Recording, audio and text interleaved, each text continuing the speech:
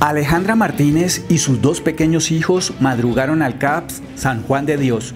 Tiene mm, cita con el ortopedista a ver si le retiran la férula, Sí. que ya hace rato la tiene. Bueno, ¿y por qué específicamente aquí en el CAPS San Juan de Dios?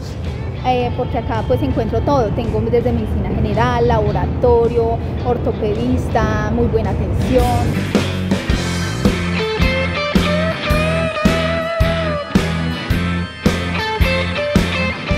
¿Cómo les fue? Muy bien. ¿Sí? Veo que ya no tienes yeso. ¿Recibieron una atención integral? Sí. ¿Oportuna? Sí. ¿Eficiente?